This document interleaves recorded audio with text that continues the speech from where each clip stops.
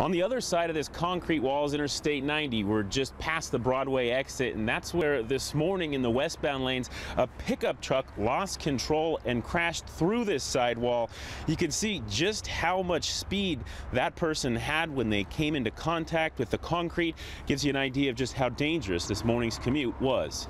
For state patrol troopers, this morning was beyond busy. Too many slide offs and collisions to count, two in less than an hour right here near the Hamilton overpass. Two drivers collided in the eastbound lanes. Shortly after that, a delivery truck in the westbound lane lost traction. The vehicles following that truck couldn't stop in time. A jackknife semi truck brought traffic to a standstill at the top of Sunset Hill, and possibly today's worst delay a five vehicle pileup in the westbound lanes of the interstate just before the Thor Freya exit. While state plow trucks were out in full force, many of you asked us on Facebook, where are the de-icers? The Department of Transportation says they use two chemicals to help melt the ice, sodium chloride, salt, and calcium chloride. Both chemicals are ineffective when temps drop below 20 degrees.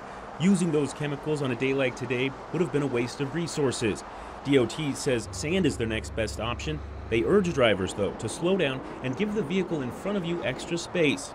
Being a few minutes late to work could save you from a real nightmare. It could also save your life. Reporting on Interstate 90, Casey Lund, KXLY 4 News.